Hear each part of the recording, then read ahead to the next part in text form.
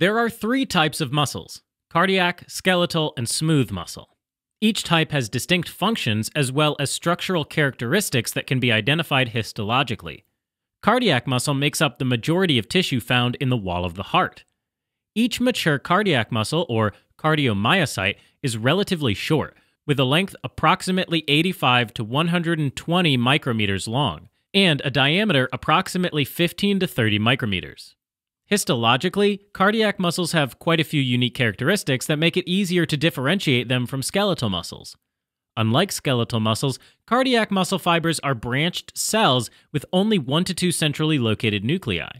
Also unique to cardiac muscles are the intercalated discs, which are the specialized junctions between neighboring cells that allows the cells to have synchronized contractions and pump blood out of the heart efficiently. Let's take a look at a longitudinal section of cardiac muscle cells that was stained with hematoxylin and eosin, or H and E for short.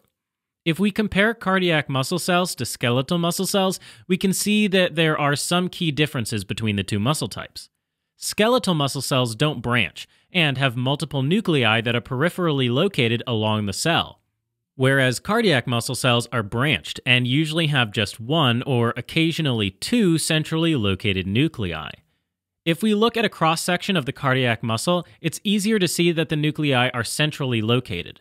Both cardiac and skeletal muscles have cross striations that are perpendicular to the muscle fibers, but they're much more prominent in skeletal muscles. Also unique to cardiac muscle cells are, as we mentioned, the intercalated discs that connect the neighboring cardiomyocytes. With an H and E stain, the intercalated discs are seen as thin, slightly darker lines that are perpendicular to the direction of the muscle cell.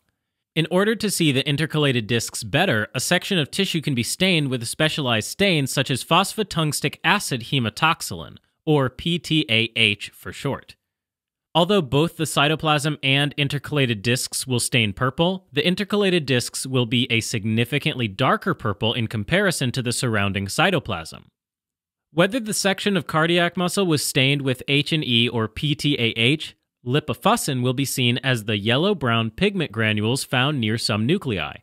These granules are residues of lysosomal digestion, and they're considered to be a sign of wear and tear that accumulate in cardiac muscle tissue with age.